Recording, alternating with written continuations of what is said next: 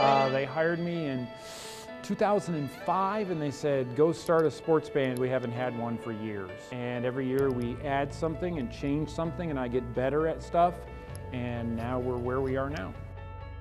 It's a lot of work, but it's a great time. It's not like your high school sports band, um, and it's not like your typical college band. We don't do full-fledged field shows, but we do shows at halftime at the football game that take a lot of work because we only get two hours a week, one night a week to work on everything. So we're putting a lot of music and a lot of visual effects together, movements.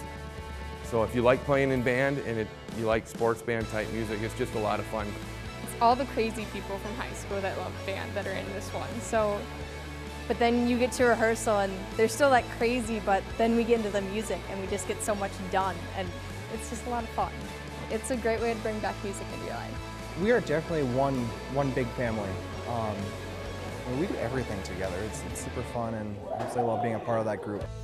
I find watching students get better at life to be very rewarding because you've got some students who are just trying to figure out how to tie their shoes and show up to class.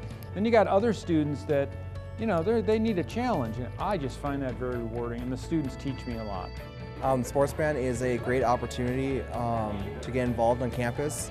A lot of people think that you have to be a music major. You really don't have to. You can be um, you know, any type of person. I mean, we have engineering majors, we have mass comm majors, we have business majors.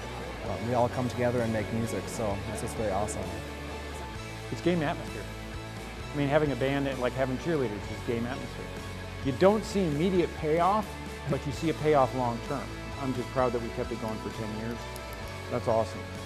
Pressure, one of the songs we played, is pretty technically difficult, but then it was after the few rehearsals where it finally clicked into place, and it's just like that moment when you nail it, and it just sounds so nice. And you're like, this is what we're here for. This is, this is it.